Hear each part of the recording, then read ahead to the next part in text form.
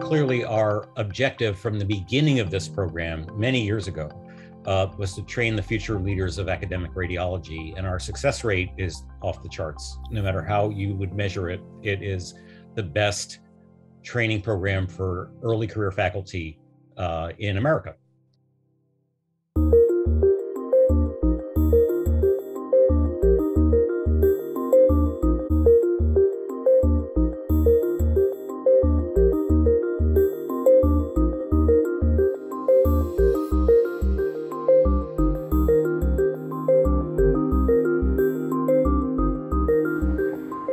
World be today without research? Well, there are those that dedicate their careers to finding out those answers and making our lives better, and GE is no stranger to this. Through the Research Academic Fellowship Programme that GE has sponsored for nearly 30 years, radiology is now enjoying the research support that it didn't have back in the early 90s. Dr. Ruth Carlos, who works here at the University of Michigan and whom I'm about to talk to, is the chair of the Board of Review for this fellowship and she's also a fellow herself. Dr. Carlos, hey. Hi. How are you? Let's take a seat. If you want to go in this one here, I'll take a pew down here. COVID fist bump, how are you? I'm fine, how are you? Good to see you, good to see you. So what are the key pillars, if you like, of GERRAF and briefly explain your role in, in, in the entire GERRAF process?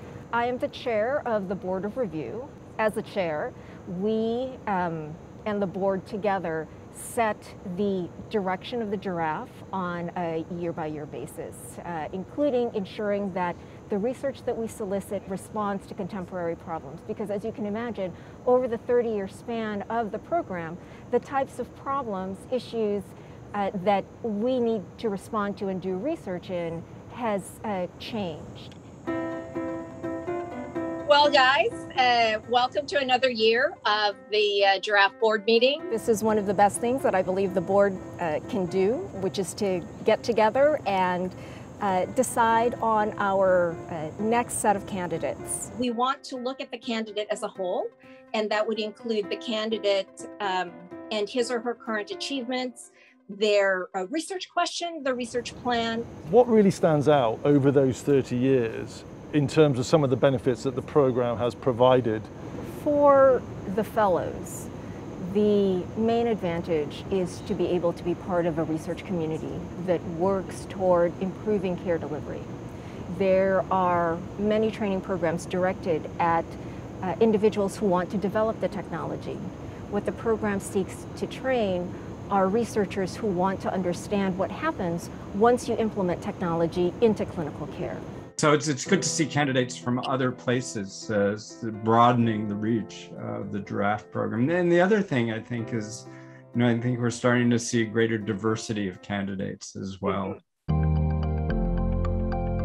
Dr. Grist was among some of the very first fellowships to be awarded in 1992. And I'm curious to know what was top of his mind when it came to radiology research back then. Now, Dr. Grist is in Madison, Wisconsin, which is about an hour away by plane.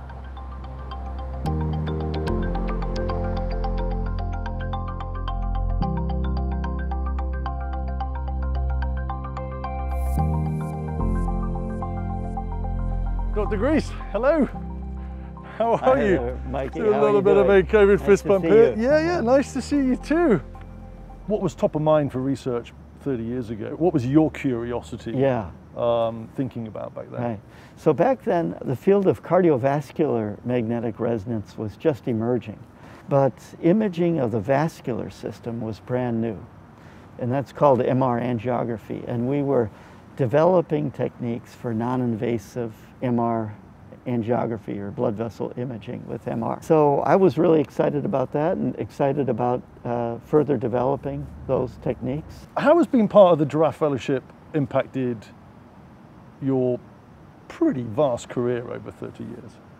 The most important impact was in the mentorship I received at the time, uh, going through the process, both in preparing the application and then in carrying out the research. And that was mentorship here at University of Wisconsin, as well as a broader radiology community. And, you know, there's that saying, it takes a village to raise, you know, a child. And I was a child. You know, the impact of some of those board members and uh, senior investigators to further shape and call and maybe take some of the rough edges off of my work was uh, really very helpful.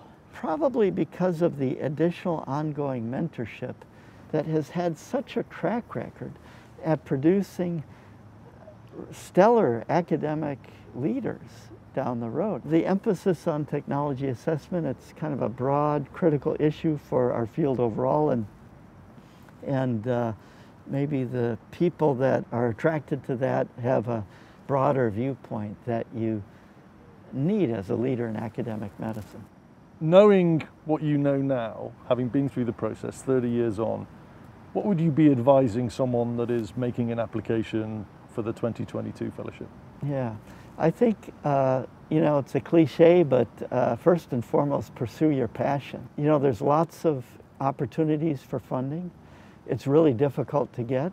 However, when you have that passion for really uh, exploring something and its impact on human health, you have that moral compass that keeps you going when, when you've had some setbacks.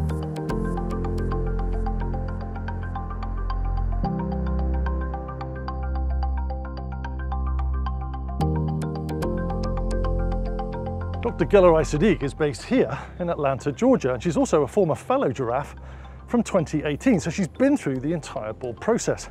So I'm really keen to talk to her about how the fellowship has been instrumental in her career and why potential candidates should consider applying. And she should be over by this tree. Dr. Sadigh, hey. Hey, how are you doing? How are you? How good, are you? Let's good. do a little bit nice of a, a little bit of a fist bump here. Why was it so important? Why was success in, in getting uh, the fellowship in 2018? Why was that so important to you? Yeah, you're gonna have research uh, time and you're gonna have money. I mean, that part is similar with others. But the part that, again, like differentiate here was that mentorship and the networking part. Uh, I feel like all the GERRAF fellows um, are so supportive of each other. Again, like, I mean, being part of the GERRAF community opened uh, a lot of opportunities for me for from my co-fellows to fellows that were years above me or behind, I mean below me and um, I mean in terms of like I mean getting involved with committees like lectures um, or like different journals and I think like this I mean you, you find people that think the same as you do the same type of research as you and it's make the like collaboration much easier. We look not only at the project but equally important if not more important uh, is the environment that the candidate works in, uh, the candidate themselves, uh, the uh, career development plan and mentoring plan that they have, uh, and who their mentors are. Um, and um, really looking over uh, Gelareh's application, um, she was outstanding across the board. What advice would you give to anyone considering uh, the fellowship?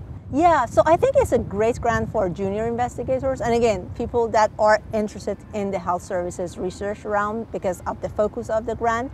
Mentorship and networking are the two things that I want to say are the top priorities for this. These are two unique things for this specific grant that you can't find anywhere else and I think it's very valuable for your career de development.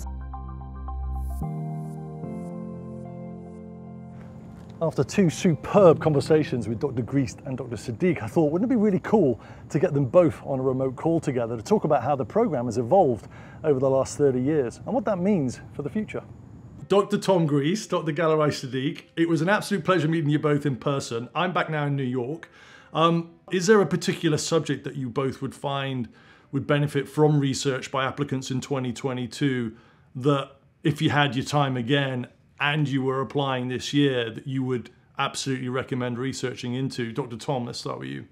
As you're aware, there's a we have a, a big problem with physician burnout throughout medicine, including in the field of radiology, and so uh, and our human resources are our most valuable resources. Uh, so I think projects that might look at how the impact of AI and how radiologists' interpretations and uh, work might be uh, improved by the use of artificial intelligence and how to quantify that in a in a clinical setting. Dr. Galloway?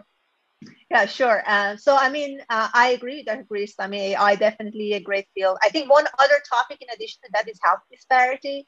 Especially with the COVID year, we saw how much we had widening of health disparity in terms of the outcomes um, between minorities and, um, I mean, um, non-minorities.